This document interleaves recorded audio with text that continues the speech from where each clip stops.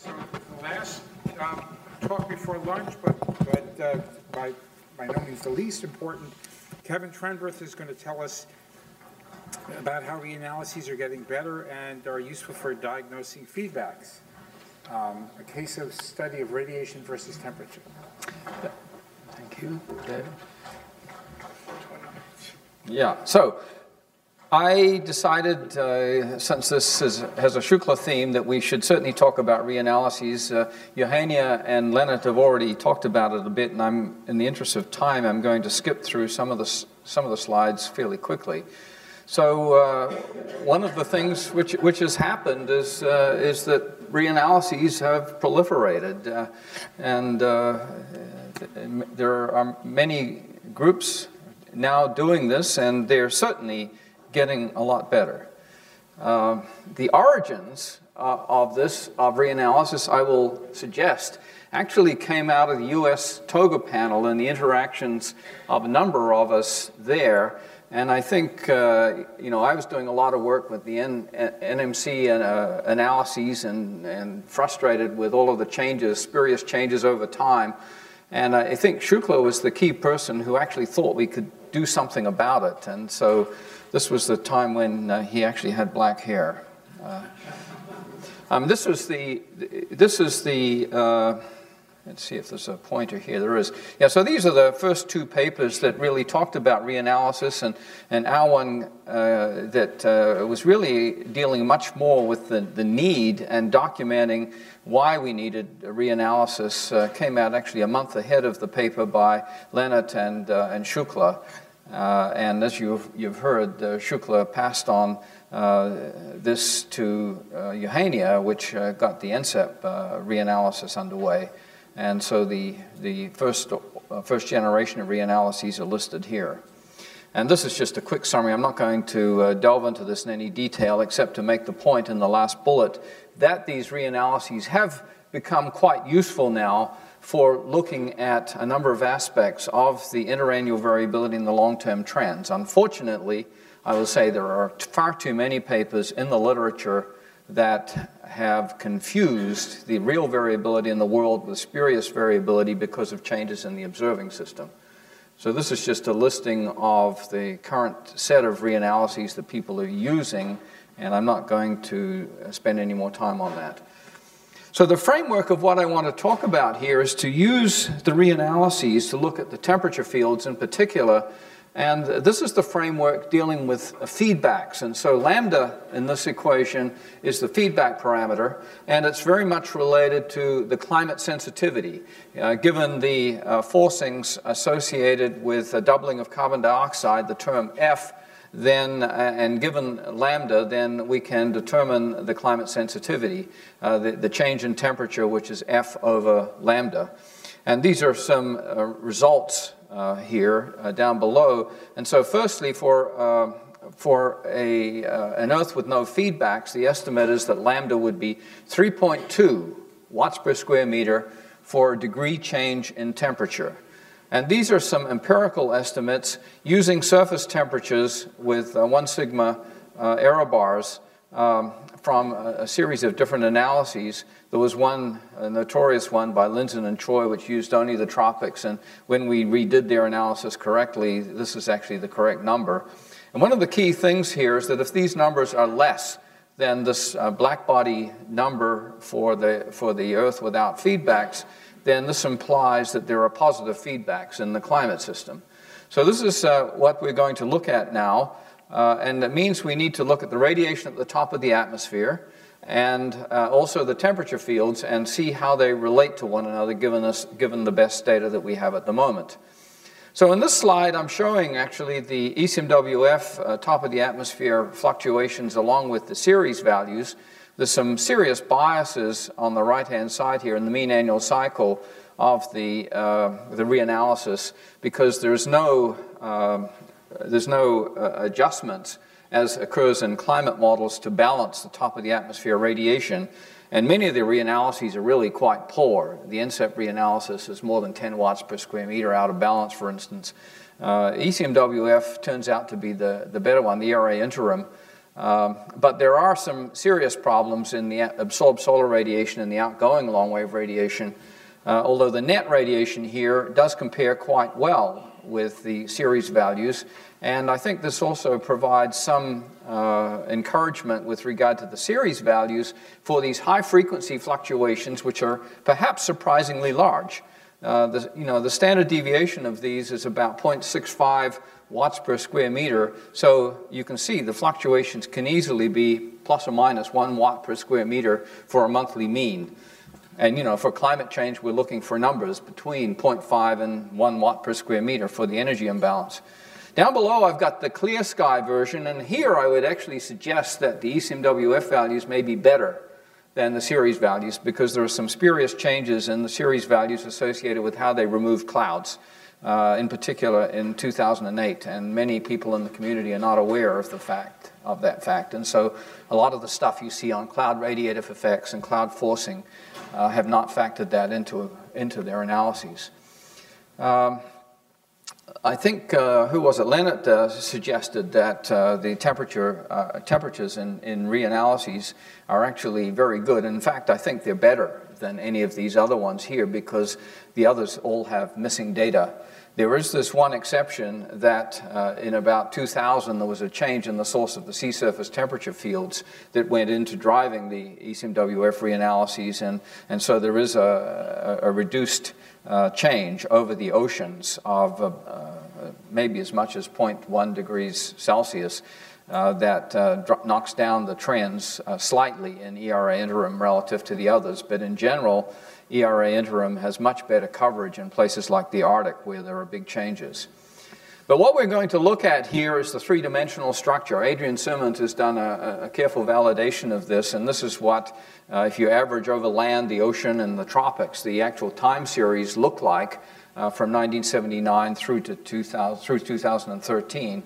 Uh, you can see the big uh, Pinatubo, uh, uh El Chichon and Pinatubo eruption effects, which penetrate down to 200 millibars actually uh, in, in the tropics. And you can see the coherence of the structures that generally occur, um, certainly up through about 200 to 150 millibars or thereabouts. Um, this is the structure as a function of latitude of the vertically averaged temperature now, and you can see whoops, uh, you can see here the, the major El Nino events and more or less a, a lot more noise at, at, higher latitudes. So now I'm looking at the global mean, and, uh, and uh, this is the time series relative to the overall means uh, as a function of um, uh, the pressure levels. And then down below, what I'm giving you are a number of time series. So the black curve down below here is, is perhaps one of the key ones. This is what we call the uh, tropospheric average, which we've defined to be the, the surface to 150 uh, hectopascals. And uh, we're going to use that uh, uh, a lot more, along with the, the two meter temperature, which is the red curve here. The sea surface temperature is also given here, and I've also put down the, the so-called uh, Nino 3.4 or ONI sea surface temperature down below here. And I've also added the um, vertically integrated water vapor. This is the uh, global average of the total column water vapor here. Uh, with water vapor, there are some spurious changes over time associated with changes in SSMI, and there was a big one right here. So that, uh, let's see if this works. Uh, it probably looks more like this in reality. Uh, for those of you who missed it, uh, go back there. That's what the actual values look like, but I think the correct values are somewhat lower down here, so there is an upward trend that follows the temperatures. And so this 0.66 correlation with the tropospheric temperature is an underestimate. Uh, the correlations with 2 meter temperature between the troposphere and, and, and the 2 meter temperature is 0.81, and some other values are given here down below. Uh, there is a slight lead of the uh, Nino 3.4 uh, over the overall tropospheric temperatures um, by uh, uh, a month or two, and, uh, and that's, that's, what, that's what it looks like.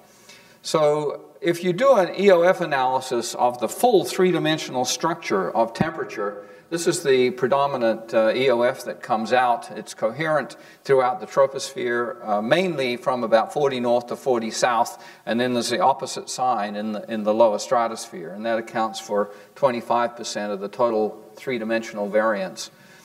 And this is what it looks like if you take the two meter temperature, the global average two meter temperature, which is used so often in climate sensitivity analyses, and then do the correlation locally to see what is contributing to this global mean.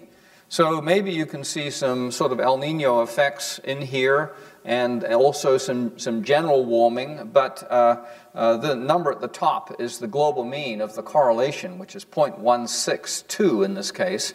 Then if you look at the, the tropospheric temperature and do the, do the global mean versus the local values, you can see it's dominated by uh, this, uh, the tropics, uh, the warming of the entire tropics uh, associated especially with El Ninos. And, and there, the global mean correlation is 0.35.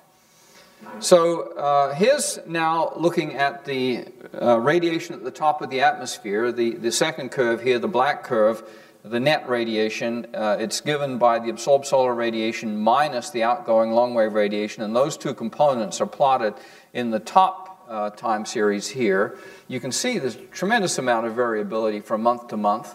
Um, they tend to be slightly positively correlated, but when you put them together, this is what you get down below. And you can see these large low frequency fluctuations, which are associated with things like El Nino events, along with a lot of high frequency fluctuations. And then I've got the tropospheric temperature down below.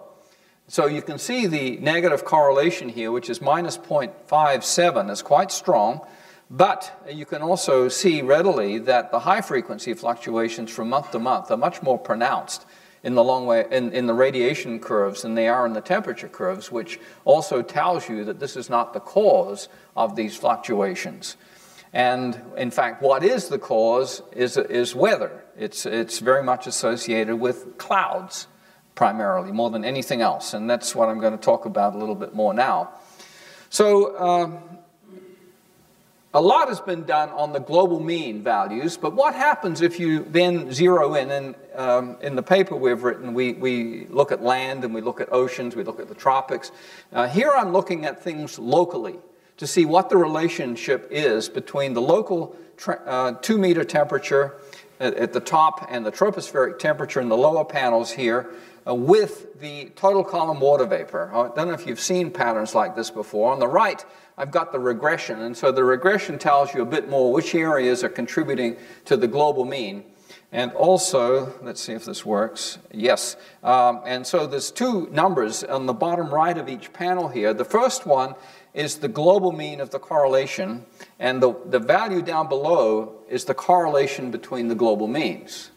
The correlation between the global means is the thing that enters into these climate sensitivity calculations. And to the extent that these differ from one another, it tells you something a little bit about some of the local processes and the way they cancel. These patterns are quite interesting in their own rights, and you can see the general positive correlation. So Clausius-Clapeyron works higher temperatures, uh, there's more water vapor in the atmosphere except right in the, in the tropics. If, if, you look firstly at the tropospheric temperatures, you can see the ITCZ and the, and the South Pacific Convergence Zone and so on. And you can see that these uh, negative regions are in the regions of the subsidence. And so this is where the air has come up into the atmosphere, it's subsiding, it's been desiccated, raining all of the moisture out in the upward branches and it's, it's dry, but it's warming through subsidence. And so you've got dry going along with high temperatures, and that's responsible for these negative correlations in the subtropics. And uh, by the way, these, these are very useful diagnostics for evaluating models, and this pattern here is not well replicated in most climate models. Let me just say that. And the, the top panel is not quite the same with the two meter temperature. And there, there's a much stronger role for precipitation. So if you note where these, where these negative values occur in, in the tropics, uh, and then um, uh, this is the correlation between the two meter temperature and the precipitation.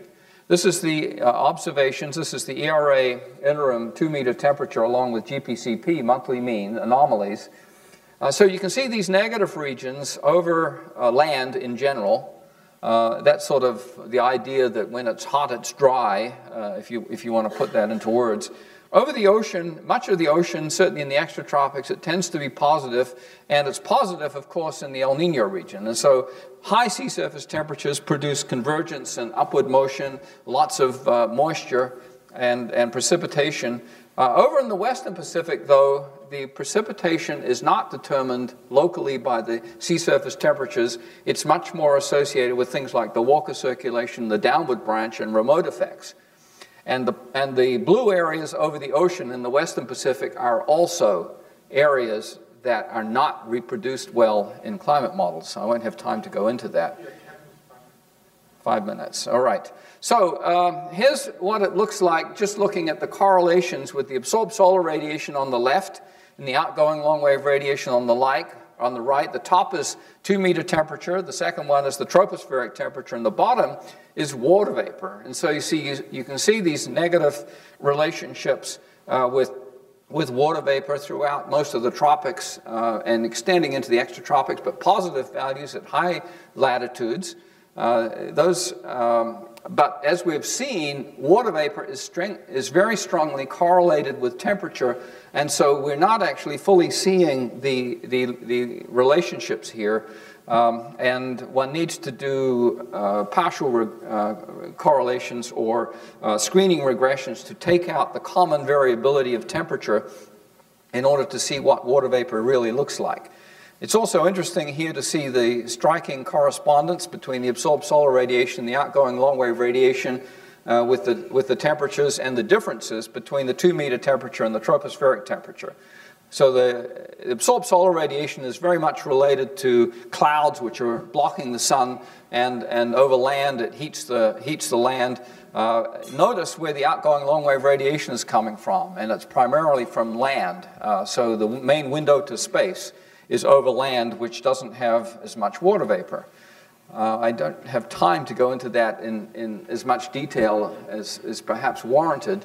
Uh, here's, we're now looking uh, the correlations on the left and the regressions on the right with, uh, with these uh, temperatures and the water vapor uh, on, the, um, on, the, on the net radiation, which is the combination of the two previous slides. And I don't know from the two previous slides whether you could guess that it would actually come out this way. And again, here, this, the, the contrast between the two meter temperature versus the tropospheric temperature is quite striking and now we're also seeing that there are some significant differences, uh, for instance, here, between the global mean of the correlations, which is positive, versus the correlation between the global means, which is quite significantly negative. And this is, these differences are, are quite significant uh, throughout here. And uh, I don't have time to go into all of the details related to this. I want to get to what happens then when we come back to the, to the global means and we look at in this, in this framework of trying to estimate uh, values of lambda. And so if you estimate lambda without dealing with the forcings at the moment, the correlation is minus 0.57 and it corresponds to a regression of minus 2.2 watts per square meter for a one degree change in temperature. Whereas if you look at the surface, the correlation is much worse you're not accounting for anything like as much variance, and this is what you get out of the regression, and it's of marginal significance. One of the things we can do, though, is to remove the, uh, or look at the water vapor separately, and we can put a water vapor term into this. These are in different units, so be a bit, bit careful here.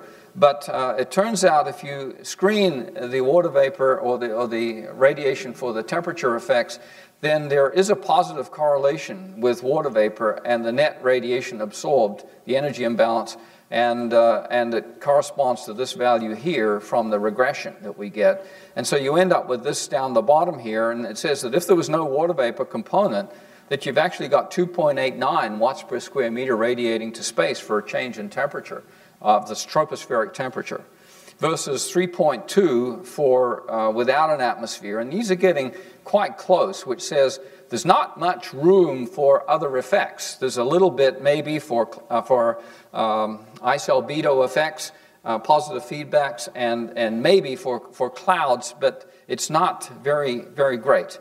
And so there, there certainly is positive feedbacks, but here, of course, we've now incorporated a lot of the greenhouse effects uh, throughout the troposphere, and it, it's not surprising that we're a lot closer to the, to the black body uh, value.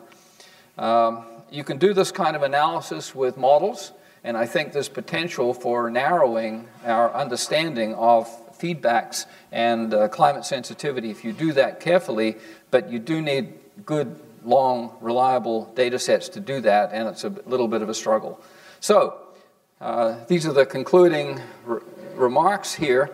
And uh, I just want to close by saying that I've served with uh, Shukla on many panels, the TOGA panels, uh, the, the JSC, uh, and there's a couple of uh, uh, pictures here with, with Shukla and me at, at, a JSC meeting in 2006 and an earlier meeting, I think that was a WMP meeting, Shukla, when we were in Geneva, walking along Lake Geneva.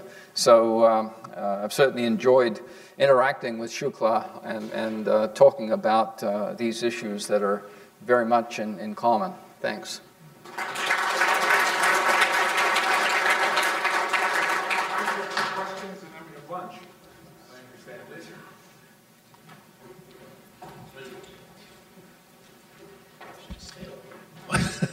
One of the uh, interesting things from the CERES data is to find on an annual basis that the albedo of the two hemispheres is, is very, very close.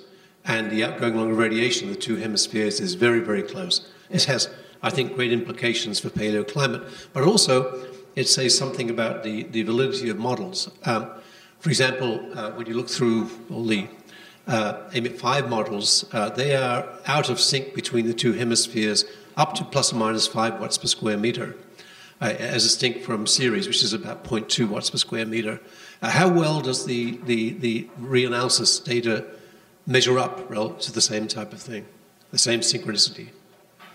Well, as I sort of hinted at earlier, you cannot use the reanalyses to look at top of the atmosphere radiation in a reliable fashion. And, and when you look at absorbed solar radiation and outgoing long wave radiation, you quickly lose confidence, and it, it tells you that the clouds do not have the right optical thickness and, and the, the, right, the right properties, and so you can't do that. On the other hand, uh, when we're looking at temperatures, you know, we're assimilating a tremendous amount of data which uh, is um, directly influencing the, the temperature fields, the radiance fields, and so on. And there's a, a lot more reliability in those now, but no, you can't, you, we can't really use the top of the atmosphere radiation from the reanalysis for many of them at this point. This is one of the things that I think through, partly through our work and, and, and uh, things like this, that the reanalyses people are more aware of, and they, I think they can certainly do better, but it's still not something that they can tune in the same way that climate models do. You know, climate models tune the energy imbalance by tweedling the clouds typically, or cloud parameters typically. But because of the very large fluctuations from one month to the next of order a watt per square meter, it's very hard to do that using, using observational data.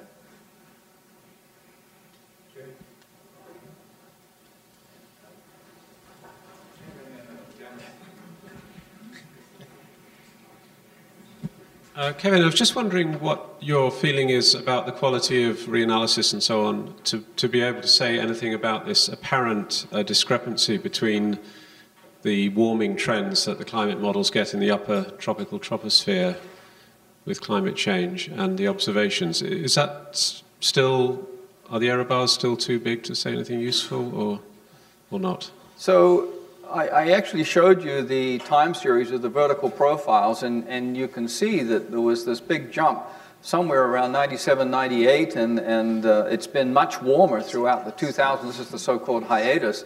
And, uh, and it's essentially throughout the troposphere. There's not as much, uh, there's not really quite the, the maximum uh, in the upper troposphere to the extent that some of the models tend, tend to show, but uh, I think that issue, you know, I think that issue has gone down partly as we've gotten better data uh, from um, from these reanalyses and, uh, and, and the radiosondes have been improved. So it, it's not as bad as was depicted earlier, at least. Uh, the data are, are showing Uh, But, yeah, there's, it's, it's still not quite as large as, I mean, this, this relates a lot to, to convective, convection and convective parameterization. I think that's still an issue in the models. So I was, you know, interested in your methodology for getting uh, sensitivity, and I, I'm not sure if you're using that as a diagnostic tool or as a way to actually estimate the sensitivity. But there's, you know, tremendous danger in doing what you're doing because many times the sea surface temperature is warm because the radiation budget has been altered by large-scale dynamics, and if you use the logic that you're using there, you can infer that the climate is unstable or something like that if you're not careful. And there's also the issue of storage in the system, even when you're looking at annual means. You and I are completely in step Okay, on that. good. I mean, the, the final conclusion, the final statement of our, of our paper, which is in press in JGR, by the way, um, uh, is to say that all of these studies that have used the so-called observational record to make a, a statement about climate sensitivity are out to lunch. I mean, for heaven's sakes, the record is too short and it's entirely dominated by these, these fluctuations, which are mostly associated with the internal variability of the climate system, the clouds in particular. I mean, this is what you get when you start looking at these things more regionally or locally. And, uh, and uh, the, also during this period, the, the forcing is quite small. The, the dominant forcing is the, is the increases in greenhouse gases, which is of order 0.3 watts per square meter per decade or something of that order. But uh, the volcanic signal is, is tiny. I mean, you could see in the, in the, in the temperature time CERES that the uh, volcanic signal earlier was, was uh, quite strong in the temperature record, but we don't have that for the series period. Uh, and I don't think we can do that for, for ERBE uh, reliably either. One of the things I will say is that I think some of the results relating to the upper tropospheric uh, warming um, are contaminated by the El Chichon and the Pinatubo signals, and, and, uh, and you need to be sort out the, actually the volcanic signal to properly make reliable statements about that. And, and so the work that people like Ben Santer have done and so on uh, have really not done that properly. And so this, um, eh, certainly in the NCAR model, the, cli- the, the volcanic signal is strong down to 100 millibars or thereabouts, but it doesn't go down to 200 millibars. And in the real world, it sure looks like there's a signal that penetrates down to 200 millibars. And so you can say then that the models don't necessarily do the volcanic signal right, but the perceptions then about the changes over time in terms of the upper troposphere are affected by how you actually treat the volcanic signal. So, um, yeah, there's, uh, there's a lot of, I think Dennis's message is that there's a lot of traps for the unwary here. and, and making statements about climate sensitivity is not something we can do out of this. But we may be able to make some statements about feedbacks. Thank, thank you again. If there are any, oh, I'm sorry. Uh, Last question. It's a question, I mean, we have recently used the um, uh, deep tropospheric temperature as a more robust uh, parameter than to use uh, the uh, surface or two-meter temperature. And you see that we've done that too. Yeah, yeah, yeah. Yes. And that would se- seem to me much more sensible in estimating climate sensitivity to use such a metric because uh, uh, uh, due to external forcing, of course, the greenhouse gases, and of course you have a, such a rapid adjustment in the troposphere anyhow. So it's better to use something which is more robust. I think there's a lot more that can be done on that. Yes, I agree with you. Okay, thank, thank you, Kevin.